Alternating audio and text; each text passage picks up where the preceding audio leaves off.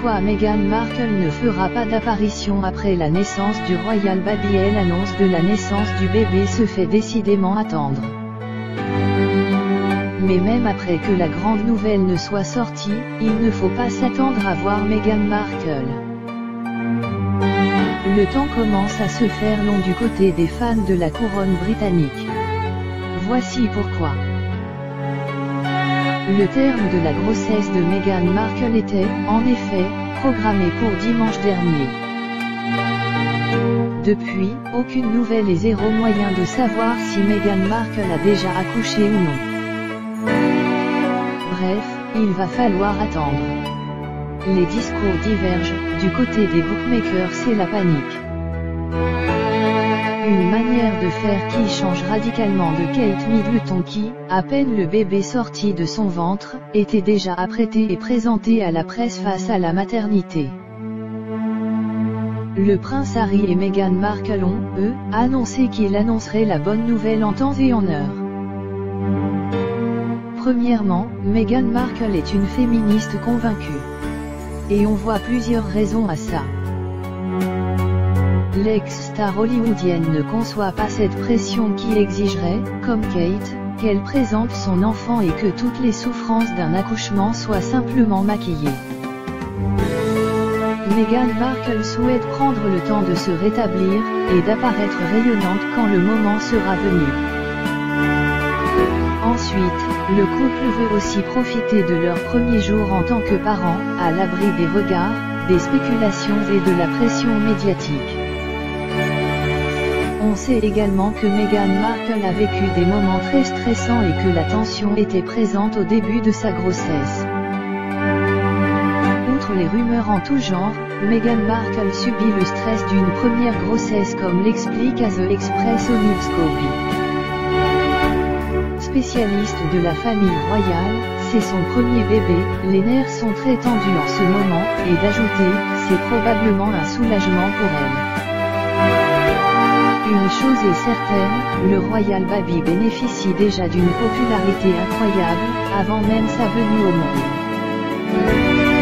Alors que Meghan Markle et le prince Harry ont annoncé qu'ils vivraient la naissance de leur Royal Baby dans l'intimité. En leur rendant visite chez eux, la reine Elisabeth II a lancé une nouvelle rumeur. Et si le bébé le plus attendu de l'année était déjà né? Tandis que les fans sont impatients de rencontrer le premier enfant de Meghan Markle et du prince Harry. La reine Elisabeth II s'est rendue à Fradmore Cottage, cette semaine, pour une visite surprise, comme le rapporte People Magazine. Un déplacement qui laisse croire que le Royal Baby est peut-être déjà né. Et pour cause, la reine est allée les voir. Elle ne fait jamais ça, explique le journaliste Chris Evans, dans les colonnes du Mirror. D'autant que Kate Middleton et le prince William se sont déjà rendus sur les lieux juste après la messe de Pâques. Pour le moment, aucune annonce officielle n'a été faite.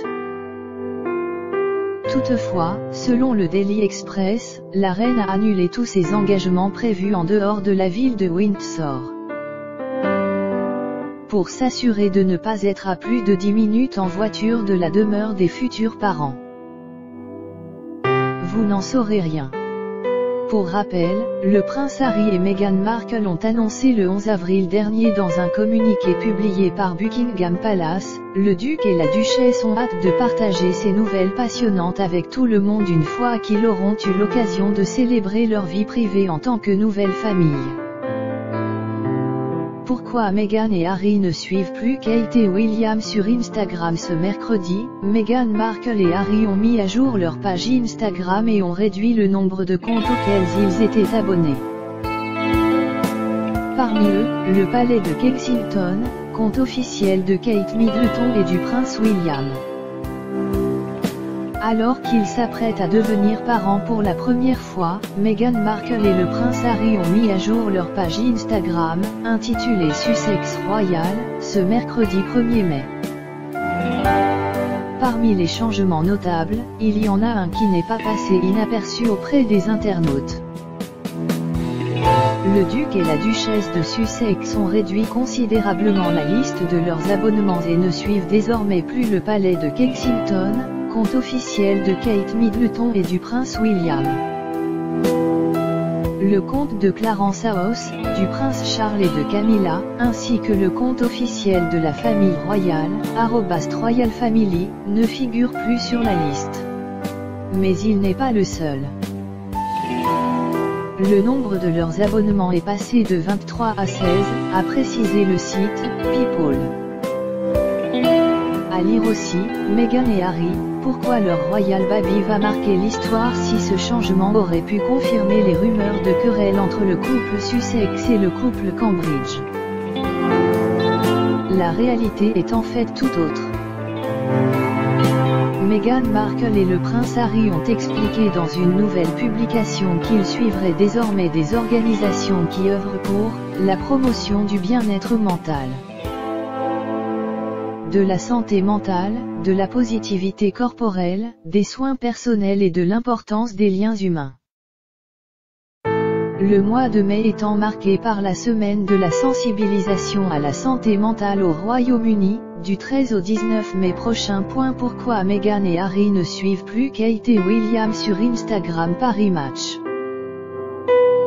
Mis à jour le 2 mai 2019 à 12h11 Marie testa ce mercredi, Meghan Markle et Harry ont mis à jour leur page Instagram et ont réduit le nombre de comptes auxquels ils étaient abonnés publié le 2 mai 2019 à 12h11. Parmi eux, le palais de Kensington, compte officiel de Kate Middleton et du prince William. Alors qu'ils s'apprêtent à devenir parents pour la première fois, Meghan Markle et le prince Harry ont mis à jour leur page Instagram, intitulée Sussex Royal, ce mercredi 1er mai.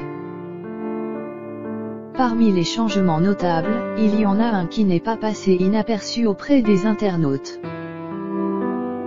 Le duc et la duchesse de Sussex ont réduit considérablement la liste de leurs abonnements et ne suivent désormais plus le palais de Kensington, compte officiel de Kate Middleton et du prince William.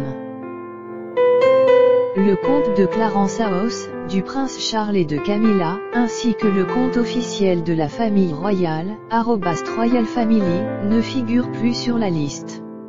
Mais il n'est pas le seul.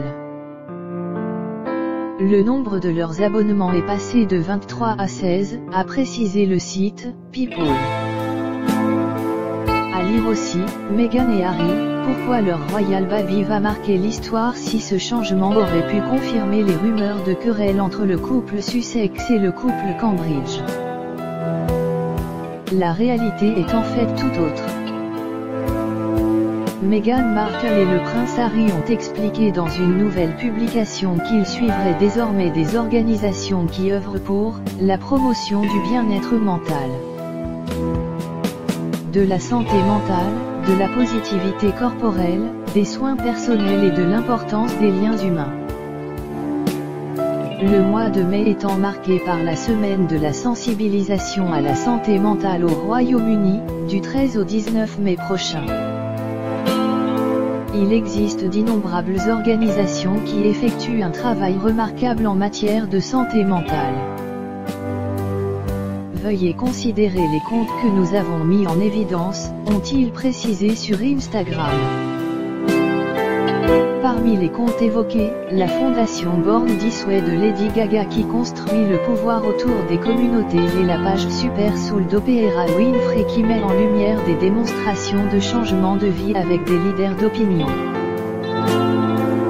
Chaque mois, Meghan Markle et Harry modifieront la liste des organismes de bienfaisance en fonction des grandes thématiques qu'ils auront choisi d'aborder.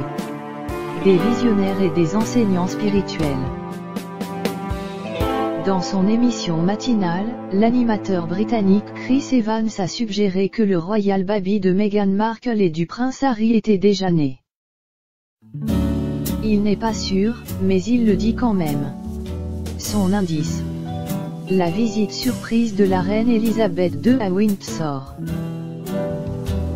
Dans son émission matinale sur Virgin Radio au Royaume-Uni, l'animateur Chris Evans a précisé qu'il pensait savoir quelque chose à propos du royal baby de Meghan Markle et du prince Harry. Ainsi, il n'a pas hésité à suggérer qu'il pourrait déjà y avoir un nouveau bébé dans la famille royale britannique, et donc, par conséquent, que l'enfant du couple Sussex était déjà né. Et cette déduction, l'animateur l'a faite suite à la visite récente d'Elisabeth II à Windsor. En effet, le Sun rapportait il y a quelques jours que la reine avait rendu une visite surprise à Meghan Markle à Fradmore Cottage. Nous restons assis là-dessus, a ainsi précisé Chris Evans, tandis que sa co-animatrice Rachel Horn lui a demandé ce qu'il savait exactement, rapporte le Daily Mail. Ce à quoi le présentateur radio a simplement répliqué, je ne suis pas sûr de ce que je sais, mais je pense savoir quelque chose. Par conséquent, il n'en sait peut-être pas plus que le reste des admirateurs de la famille royale, qui attendent de pied ferme la naissance du premier enfant de Meghan Markle et du prince Harry.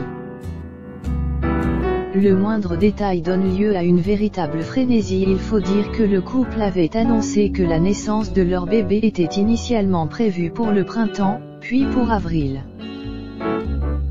Et tandis que le mois de mai vient de commencer, aucun signe de ce royal baby très attendu. Si bien que même de simples détails donnent lieu à de nombreuses spéculations autour de son arrivée.